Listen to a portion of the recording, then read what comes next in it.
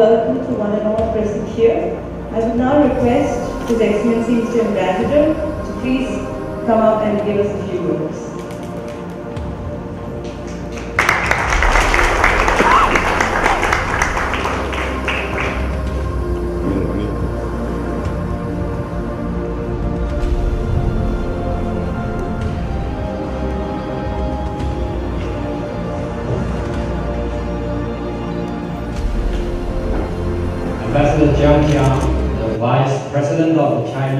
People's Association for Friendship with Foreign Countries, dear old friend Mr.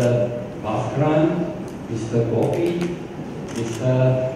Bharati Mohan, and uh, Mrs. Uh, uh, Ilu, which is? Kirumuti. Yeah, Kirumuti Radha, and uh, Dr. Das, and many other friends from uh, India-China Friendship Association. Ladies and gentlemen, very good morning, dear friends. It's a great pleasure for me to visit Pondicherry. This is a place I have been dreaming of to uh, visit for so many years. I have been posted to India two times. This is the second time as the ambassador of China. The last time it was about 15 years ago, and I visited many places in India, but not Pondicherry. That's a little bit pity. So this time, my dream has been fulfilled. Pondicherry is not only famous for its beautiful scenery and its, uh, you know, a kind of uh, special and unique culture here and friendly people. It's not, not only because that uh, it is getting famous to the Chinese uh, people uh, with the movie of uh, Life of Pi, and, but I just want to come here to make friends. Old friends we would like to meet again, want to make new friends in Pondicherry. So let me say in the Tamil language I just learned, Vanakkam.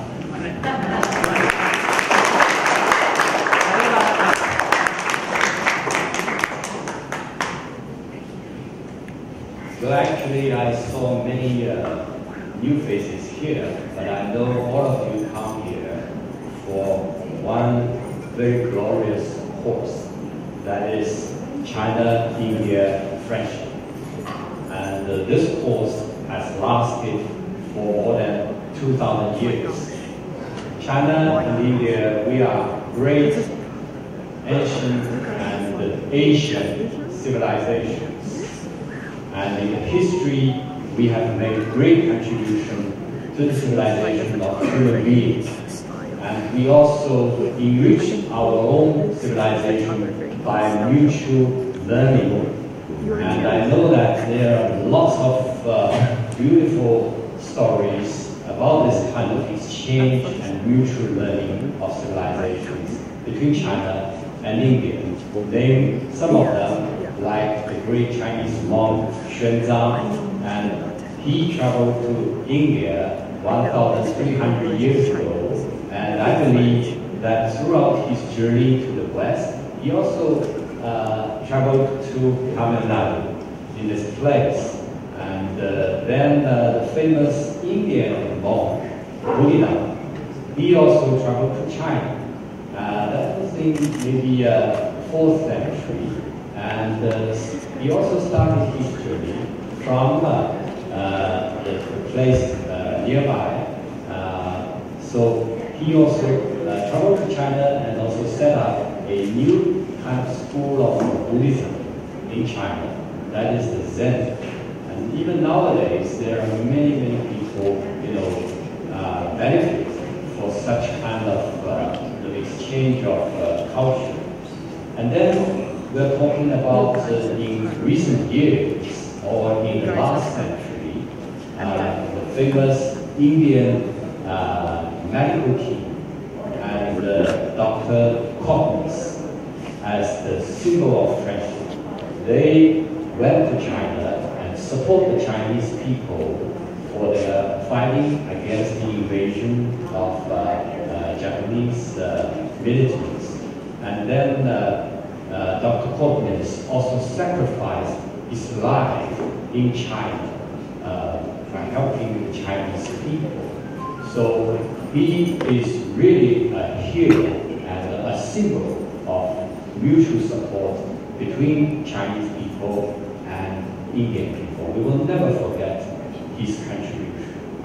And also uh, for the uh, uh, culture, we know that uh, Mr. Tagore, the famous poet from India, he also visited China, expressed his support strong belief of the revitalization of Asian uh, culture and civilization in the future.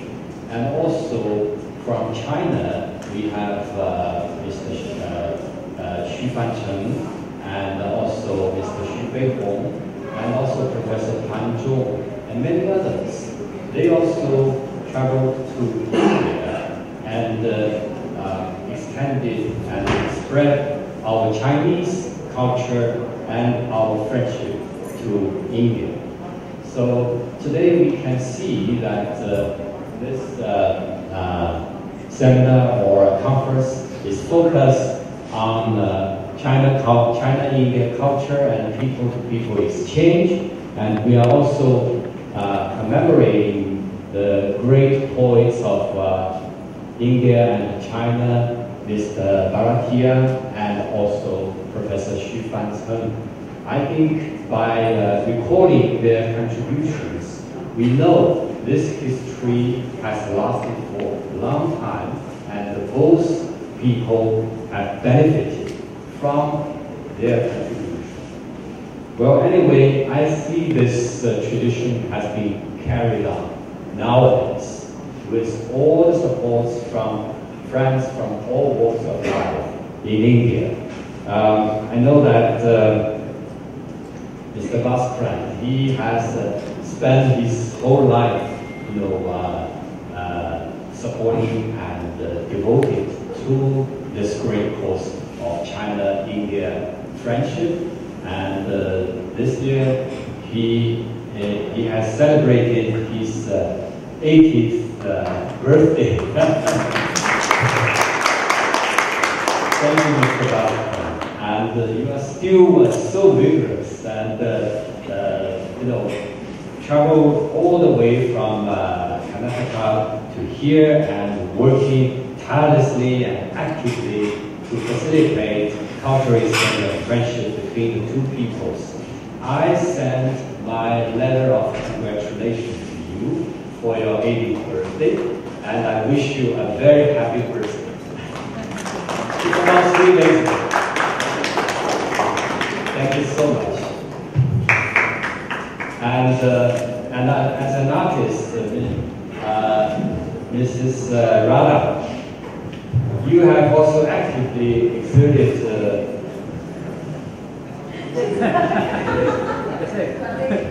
Mother and daughter. Yes. Uh, Radha very well.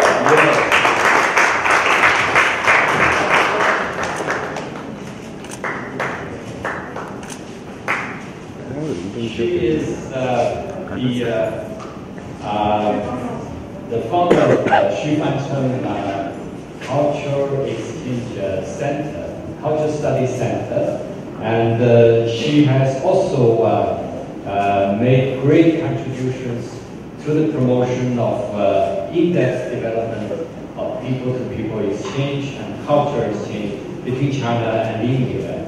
And also, he is encouraging more and more young people to participate in this great cause. So we are also grateful to you. Thank you so much.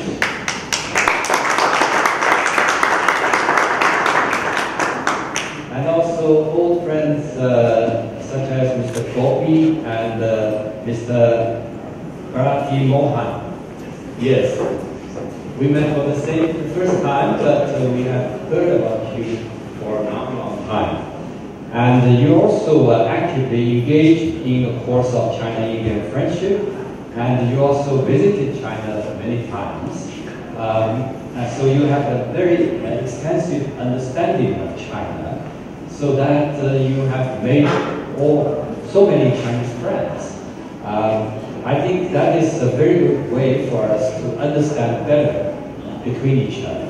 And you will share your experience of uh, visiting China with the Indian friends so that they can also have a better picture of China.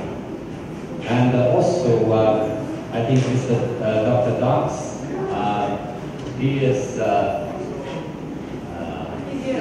he's a, yes, he's Dr. Dox. He's young, but he is also very energetic, and he has been involved in organizing many kinds of cultural exchange programs and activities between us, and he also made contribution to the Xu Fancheng Cultural Studies Center by supporting uh, Mrs. Radha and trying to uh, introduce Mr. Xu Fancheng's legendary life and uh, academic achievements to Indian people, bringing a new bridge for closer exchange between the youth. And there are so many uh, new friends here. I cannot uh, name each, each and every one of you, that I can see you know, the uh, enthusiasm, the friend, friendship, the sincerity, and the aspiration in your shining eyes. For many generations throughout this 2,000 years, China and India have coexisted in peace and friendship. And no matter how the international situation will change or how our domestic situation will change, China and India should make a joint efforts to uh, respect each other, to understand each other, to build up our mutual confidence and also to lay a solid foundation for mutual beneficial cooperation and people-to-people exchange so that we can build a shared future for mankind. On behalf of the Chinese Embassy in India and also the Chinese people, I would like to take this opportunity to express my heartfelt gratitude to all the friends present here and through you to all the friends in Pondicherry and other states. And also I want to express my uh, sincere gratitude to the organizations of friendship across India. You are also making your efforts to promote such uh, understanding and uh, mutual friendship. So all through these years, you have uh, made so many uh, efforts and I want to take this uh, chance to express our gratitude to all of you and wish you all a bright future. Thank you very much.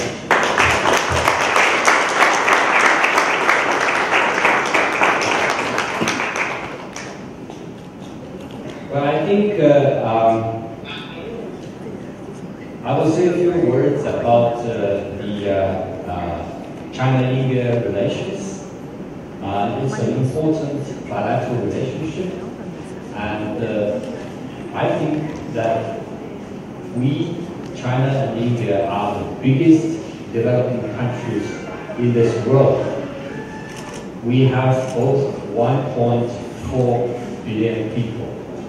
That's the largest population in the world. And we are also emerging economies. That means we are growing fast and we have great potential and broad future.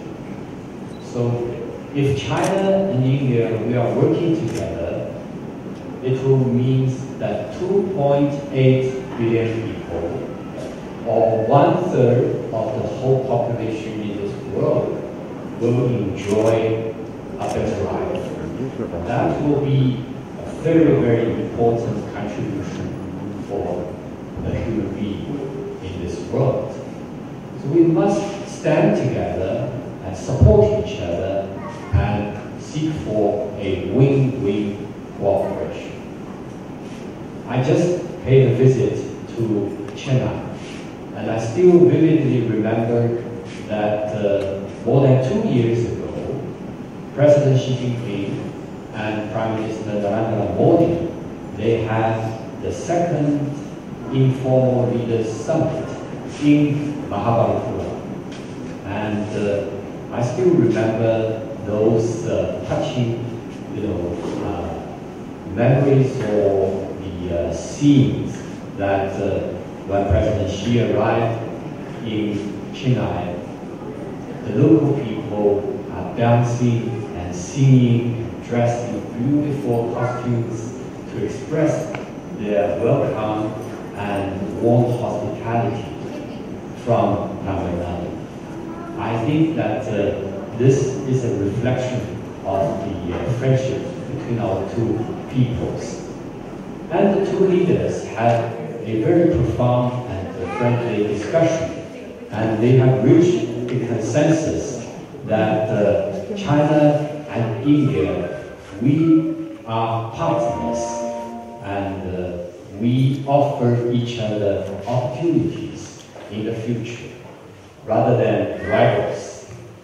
And China and India, like elephant and dragon, we should dance together. this is the best choice for both of us, and also for the future of the world. Uh, although we have differences, maybe, but this is natural between neighbors and between big countries. The things that we can do is that we can manage those differences, not allowing those differences to become disputes, and put it in an appropriate place in the bilateral relations. But more importantly, we should work together to also enlarge our common interests and mutual understanding so that we can build a solid foundation for our practical cooperation in the future.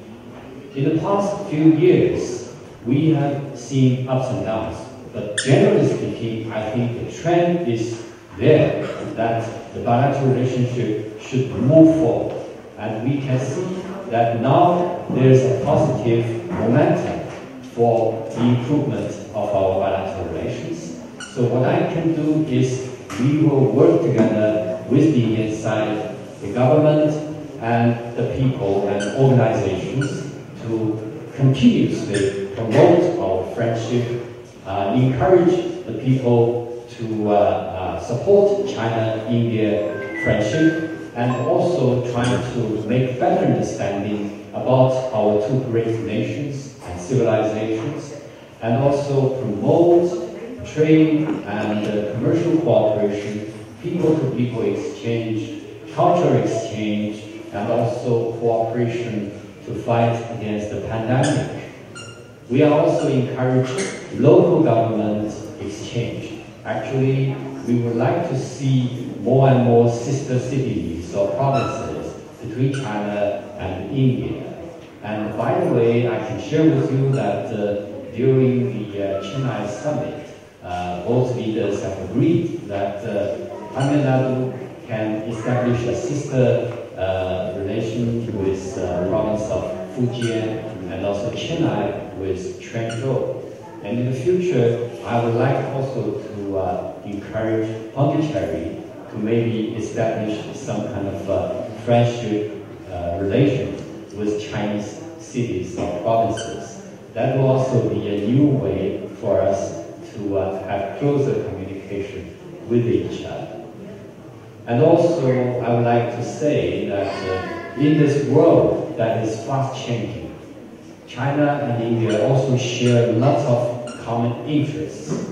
We uphold uh, multilateralism.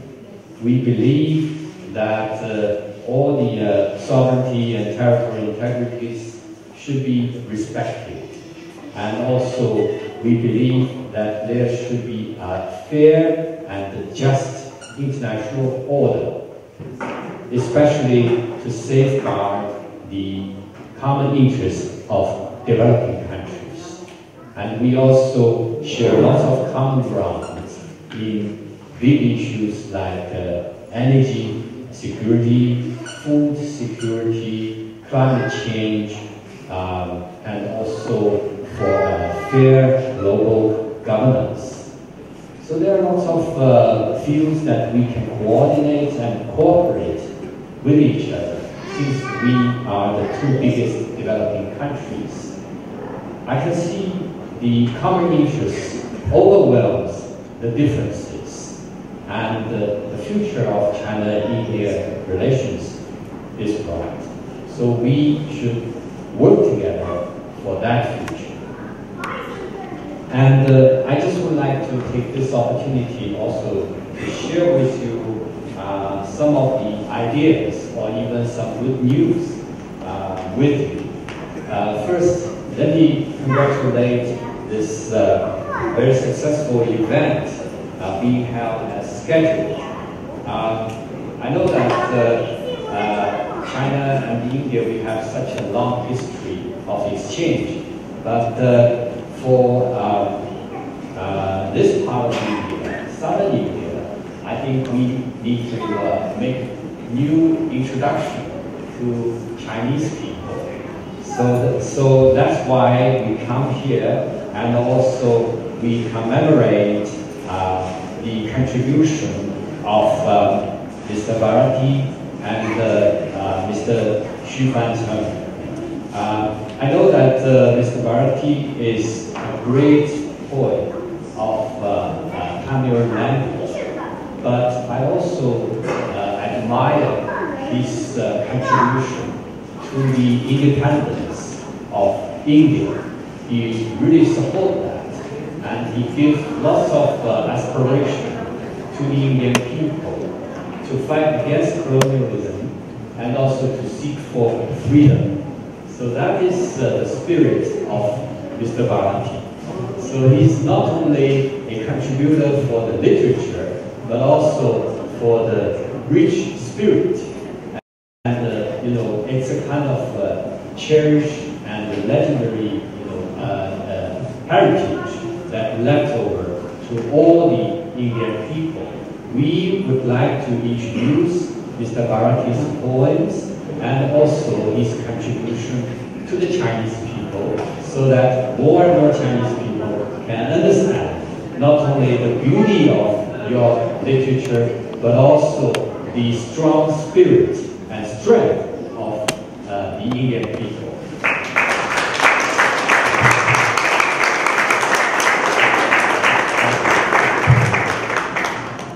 And also Professor Xu Fancheng, he has been praised by many Chinese people as the modern or contemporary Xuanzang because he lived in Pondicherry.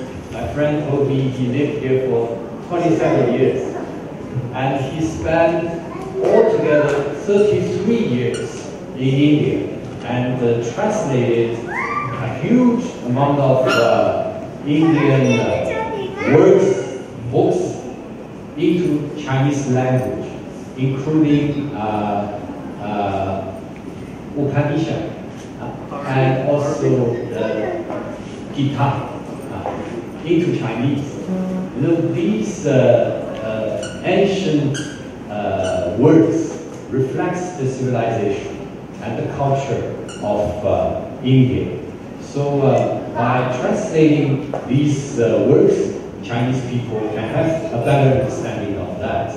The translation takes lots of his time, and uh, if you put all his books uh, here, it could be this high. So he is a great contributor for the exchange of culture between us. And then later on, he went back to China, and uh, I think he worked in, uh, worked in the uh, Beijing University uh, for the rest of his life but continually translating and also acting as a bridge of culture between our two peoples. So we will never forget that. I remember that uh, I had uh, participated in a seminar in the year 2020 to uh, release a book commemorating the contribution of Professor Xu Fancheng. And uh, I also would like to see here uh, the Xu Fancheng uh, Cultural Studies Center. Uh, this afternoon I will visit the center and see by myself how many efforts this is uh, Baba and uh, other friends have been made to carry on such a tradition and contribution of Professor Xu Fancheng nowadays, and uh, have more and more people benefit from his contribution to, uh, to this uh, culture and people-to-people exchange. That is the first uh, uh, impression I would like to share with you. The second impression, uh, the second good news is that uh, we know in southern India uh, there's a very high uh, literacy rate, and many uh, children have uh, been educated, and they would like to seek for higher education in the future. So the Chinese embassy here in India, we would like to provide more opportunities for the local students to study in China. Uh, let me announce here that uh, in the next three years, the Chinese embassy in India will contact the relevant Chinese universities and academic research institutions to provide four scholarships each year in the coming three years to the India-China Friendship Association. And to,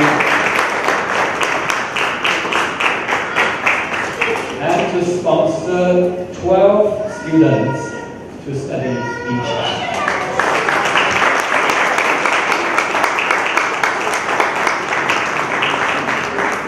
We hope these young students will follow the step of uh, Professor Xu Fancheng and Bharati to make new and greater contribution to the exchanges of China-India uh, friendship. Now, thirdly is that uh, uh, you know that due to the uh, impact of uh, the pandemic, people and people exchange uh, between China and India have been a little bit hindered or challenged. And I understand the urgent need of uh, Indian students to return to China and continue or resume their study. So I would like to uh, say that now the situation of uh, COVID-19 in China is uh, gradually brought under control. And uh, we are pursuing this uh, dynamic zero COVID policy in China.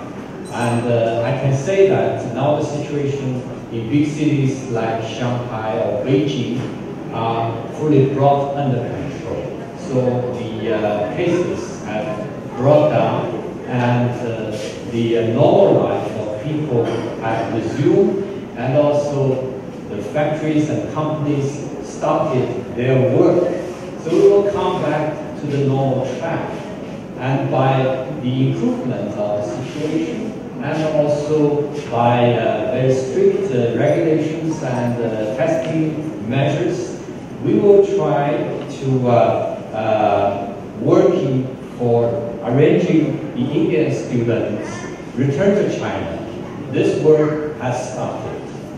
And both Chinese and Indian governments are working together to uh, discuss about the matters related to the resumption of direct flights between our two countries and making arrangements for those Indian students who urgently needed to return to China. And uh, I'm sure there will be some more good news related to this in the near future. Right, step by step, we will resume those uh, uh, studies for the Indian students and we welcome them to come back to China and uh, complete their study.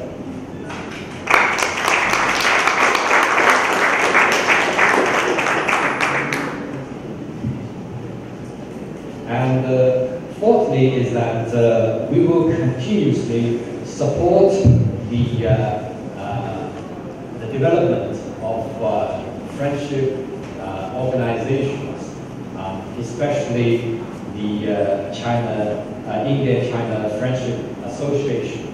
So we will keep in close contact with the Friendship Association from uh, Pondicherry, from uh, Kerala, from uh, Tamil Nadu, and from uh, and many other uh, parishes.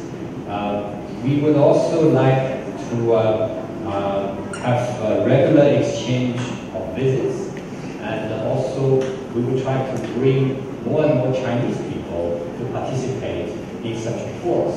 That's why we invited uh, Ambassador Jiang Jiang today uh, from the Chinese uh, Friendship Association so that we can establish a direct contact with Chinese uh, Friendship Association. And then we can organize more and more activities like this so that we can have a direct contact. Actually, I think the work we are doing is building the bridge. And building a bridge is always better than building a wall. So we must, uh, you know, take away the walls and open our hearts and also have direct contacts. I think uh, the pandemic cannot prevent us from so. Any kind of difficulty will not prevent us from doing so. With your support, we will see a bright future. And I will say that that future especially lies in the hands of young generation. So we would like to see more and more people participating in this great cause. I see those young faces. I see the lovely children. They are the future of China-India friendship, and we hope in future they will become the people's ambassadors of China and India, so that they can build more and more bridges to link our hearts together. With these words, I wish today's event a full success, and I hope the good health and happiness of uh, all my friends here, and through you to all the friends in Pondicherry. Nandri.